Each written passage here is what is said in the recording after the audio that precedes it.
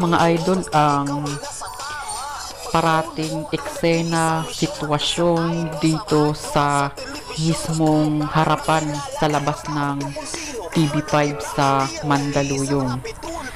Bale, ah, makikita nyo mga idol ang mga tao, mga Pilipino na mula pa sa iba't ibang lalawigan sa Pilipinas para lumapit at humingi ng tulong kay Idol Rafi para maaksyonan yung kanilang mga hinaing, reklamo, suliranin na nais ilapit sa Rafi Tulpo in Action. Bali ito po araw-araw yung mga eksena dito sa mismong labas ng TV5 Media Center sa may Mandaluyong City. Yan mga idol.